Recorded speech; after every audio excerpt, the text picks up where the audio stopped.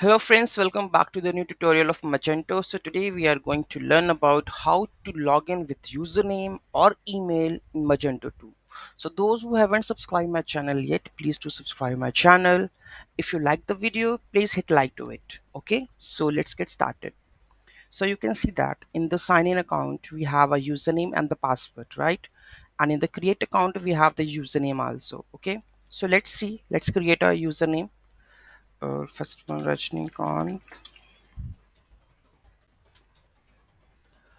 um, email Rajnikant90 at the rate mailinator.com okay. mailinator okay password? We can take it the password like this. This is the password. And username? Raj90 right? I'm going to create an account account is created I'm logged in right? So you can see that I'm uh, let let let us log in with Raj 90 also I'm going to log out right now.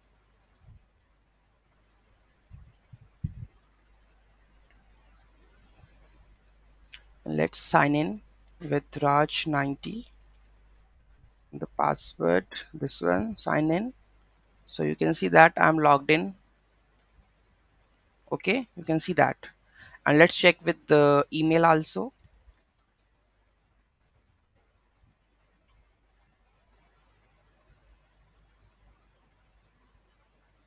Sign in with email. Okay and the password. Sign in. So you can see that. I can log in with username and with the email also. Okay so how we are going to build such kind of thing in Magento 2 so let's get started. How on, on the code level how I make this one okay? So for this one let's log out this one.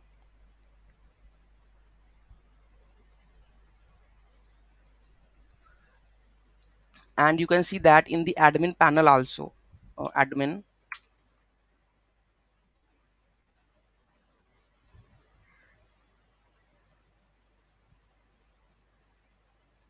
when I log in with the customers where is customers and we have all customers now the username is there. Okay last I have selected this one. So you can see that here I'm going to edit part because uh, in the admin panel we have also need the username. So the account information username right? I can change it whenever I want okay so let's build that extension okay? So here we go with the code. And this is first of all etc. Then we have a di.xml where we have the preferences dashboard info okay? Because you can see that in the dashboard uh, where it is. Let me go with this one.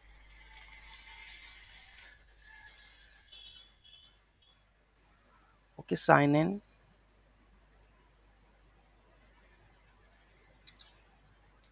Raj 90 the password is same. If I go and check this one my account you can see that account da dashboard. So here we have added this one right? And if I go to the edit part okay you can see that username is also there okay? So in the di.xml we have account dashboard info. After that we have a model account management. Then we have a customer data magento customer customer data. Okay let me uh, word wrap this. So you can see that we have account management type then we have a customer data type then we have a preference dashboard info. Okay so here we have rewrite the module block account dashboard info then we have account management. Okay where we replace by the ma account management part model and then we have a customer data.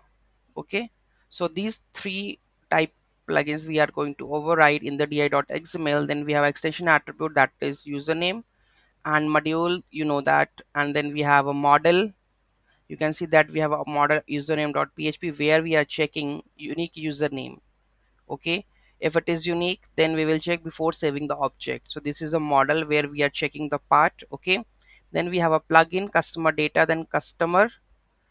So here you can see that after get uh, section data you can uh, if i go if i go to the um, like vendor folder and I check that part you can see that after get this section data we will get it. And here we were checking that by default username empty. If the session if the customer is logged in here we have put the login logged in and customer session get customer id and on the behalf of it we are checking the customer attribute username is there then we're getting the value and do the rest of the process okay we are getting the data with the help of the username and return the data. Also you can set that the get a customer by the id so this is the block of that. Then we have a model account management because all these files are we are in the overriding part in the di.xml so you can see that before is email available. There is a function we have created. And then before on the authentication. Then we get customer by username. So here we are filtering the username by the attribute now we have a rei info.php and here we have get username get customer account manager. So here we are getting the data by the help of the username. Then we have a setup install.x where we have creating the username schema. Okay it is using the forms admin checkout account and account edit. So all these things are available. Then we have admin html where we have shown into the customer listing. Okay and then we have uh, front end then we have a customer create account. In the customer create account we have already added in the additional info i have shown to you. Customer account edit part we have already there. Okay you can see that in the customer edit part is also there. And uh, where we go with it and we have a index. We are using username login then account login. You uh, when we create a login screen over here uh, let's check it out. Here you can see that we have added the username login screen. Okay. And then we have a template files account info.phtml where we get the username only. And the form we have a login.phtml file. And we have a username.file okay where we have added the username.